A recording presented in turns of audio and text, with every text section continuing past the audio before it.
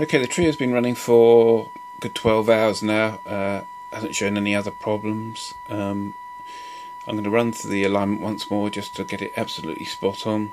Um, I'm just about to do an IF alignment. I've got the manual now. Uh, IF frequency is 455 kilohertz. Uh, I'm modulating the signal with a 1 kilohertz tone uh, and injecting it 500 millivolts through this loop aerial and you can see on the signal strength meter um, we've got some signal strength showing. Now the manual tells you to adjust the uh, IF looking at the signal strength meter which is quite convenient. It means I don't have to set up the um, the uh, uh, AC voltmeter on the loudspeaker connections. Um, you'll see that the tuning makes no difference at all.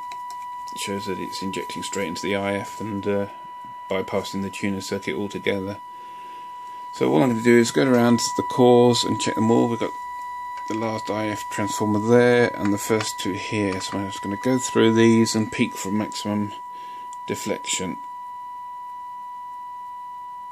It's getting weaker. Okay, slightly better. That's the first winding.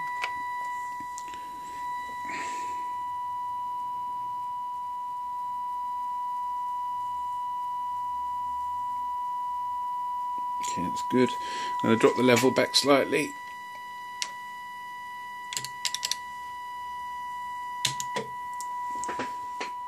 So we don't uh, overload the front end.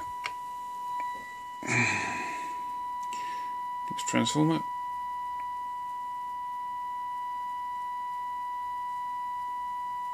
That's good where it was. Next transformer. Peaked up a bit. Good. And then the final IF transformer, which is this one here, the big one.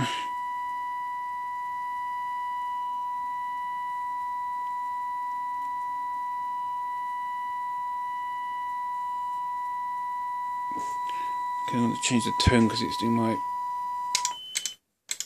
That's better. It's doing my ears in.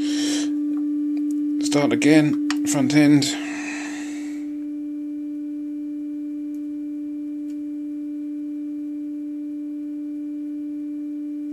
Good. It's peaked.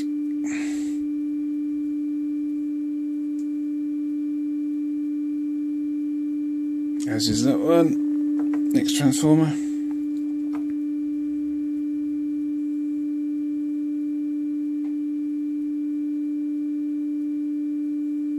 Mm, it's good. Next.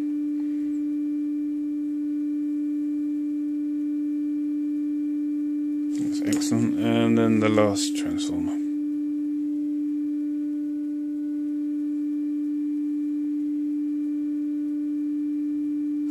That's it. So the IF alignment's correct.